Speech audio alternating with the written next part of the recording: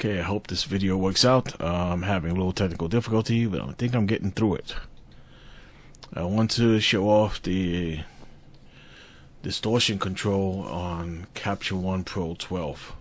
I just got it. I'm a newbie. Uh, I'm not very good at it, but I'm learning a few things, and hopefully I can get you guys uh, interested. Uh, I know this can be done in Lightroom um, a little bit differently, and I'm trying to get away from Lightroom, so I won't be using Lightroom in this video. That would be Lightroom 6. I don't have um, CC Creative Cloud. I didn't feel like I want to pay a membership per year, stuff like that. Uh, that's part of the reason why I bought Capture One. Okay, this is 24 millimeter, and odd thing about this lens, uh, most people are gonna be under the belief that there is no uh, distortion control using this lens. But if you're shooting JPEG, I want you guys to look right here. See, this is 24 millimeter. I want you to look at that. Now, the next image is also 24 millimeter, but it's JPEG. I shot them at the same time, uh, same exact image. Over here, you see my lens cap on top. I was just using that as edge. Um, you can see how much the in-camera uh, distortion correction does in JPEG. Uh, it fixes the image pretty much. Uh, Canon knows uh, what's going on here, and yes, it's working. But it, when I looked at the camera, uh, it was definitely grayed out. And I tried this after looking at Mr. Christopher Frost uh, images and my images. I said, really, we both shooting raw. And I said, you know what? Let me try JPEG. And sure enough, the camera in body uh, distortion control does work if you shoot in JPEG. Okay, 50 millimeter uh, pin cushion, you can see that. Uh, 50 millimeter JPEG straightened out. So let's go to back to 24 and see what we could do with this image. This would suggest to me that this is larger than 24, possibly 20, uh, 21 millimeter, and this is why it looks this funky. You can see the ends here. I um, believe it's in this guy right here. See if that's the right one. That is not the right one. Okay, that should be color. That shouldn't be it. Um, here it is, lens. Right here it says distortion. Now, there's one for pincushion and there's one that's generic. And then you can also look up the lenses. Here's the Canon lenses, and they do have a couple of RF lenses. I think they have three here, but that's all they got. Um, 50 millimeter 1.2, 35 1.8, and 28 to 70 f2. That's gotta be a beast of a lens. Either way, um, you guys know where to look for your lens if you have similar issue. And this is the one for pin cushioning. Right now, we're doing the generic because this is barrel distortion. Okay, so I, I'm gonna since the amount is so small, I'm gonna go number by number.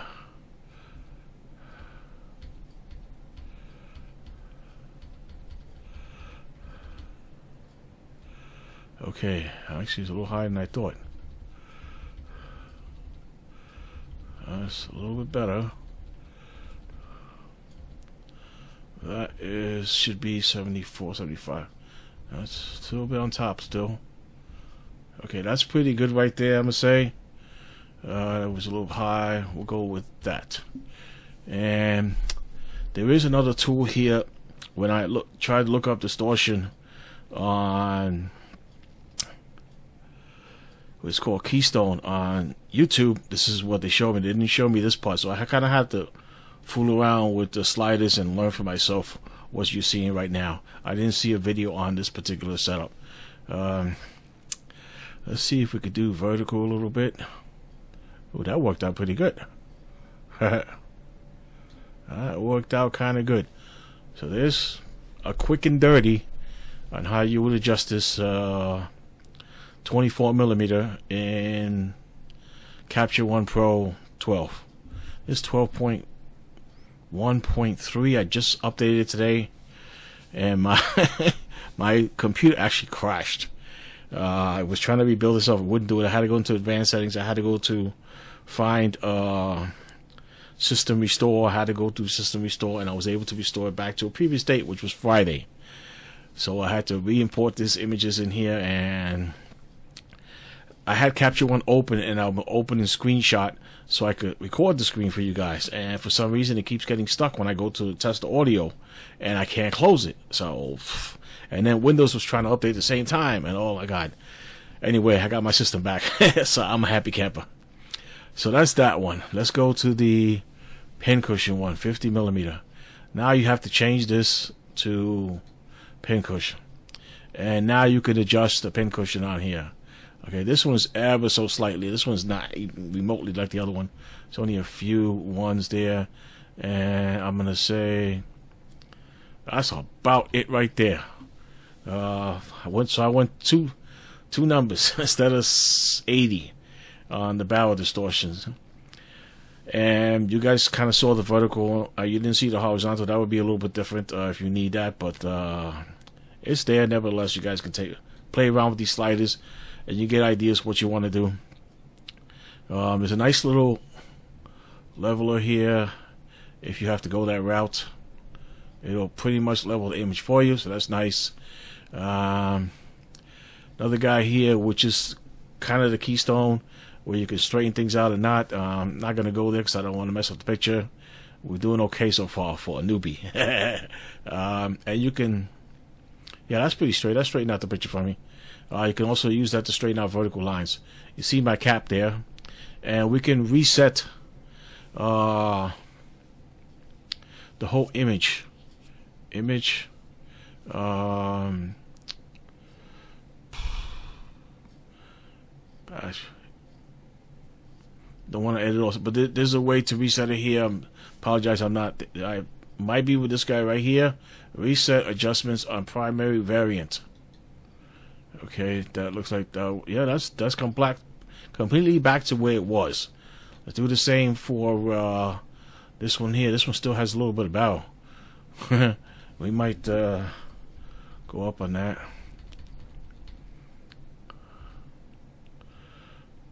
And then we might do the vertical a little bit.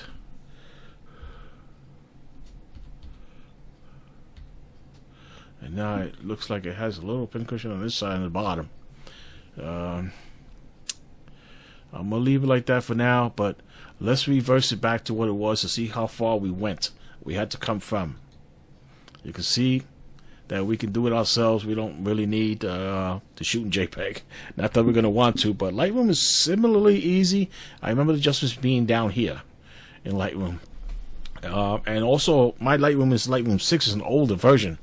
So I'm sure the new ones is going to be slightly more advanced, slightly easier than or better, have better tools than my version, the one I have, which I'm trying to get away from.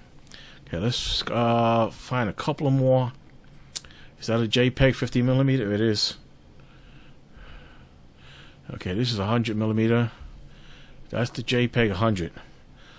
Okay. Um, Looks like every every photo we do, if we're doing pincushion, we have to change it because probably pincushion isn't the one that you do the most. You probably do uh, barrel distortion more. Uh, and again, we used a very small amount last time, so that looks pretty good to me. Let's straighten it out.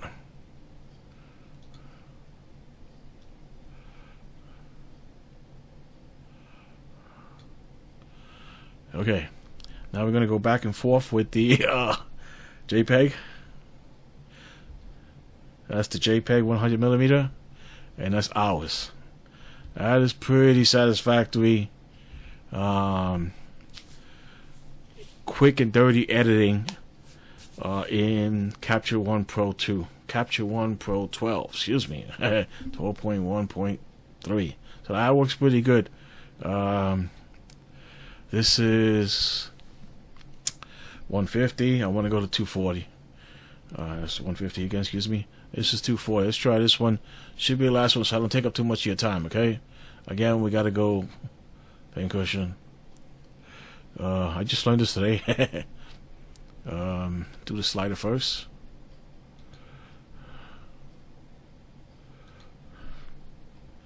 And I'm using my up and down arrow keys because it's that's about. I'm happy there. I'm very happy with that. I don't think I got to do much more. Let's go to the JPEG. Okay, this would be JPEG here, excuse me. And this would be our straightening out, and then a JPEG image. The JPEG looks like it went a little step more, so we might do one more just argument's sake. And that's going to be it. Alright, so that's the... Let's get out of there. So, JPEG, I'll fix, JPEG, I'll fix. I don't know if I can ask for more than that. I'm very satisfied with that. Uh, there's a lot of great tools here, a lot for me to learn, and I hope you guys are not afraid of your new RF 24 to 240 lens because the correction is easy. It's not that hard at all. I'll see you guys next one, right? Bye.